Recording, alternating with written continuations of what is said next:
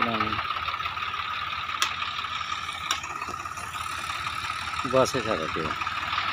ए झ्यानको गाडी यहाँबाट लाग्छ नि।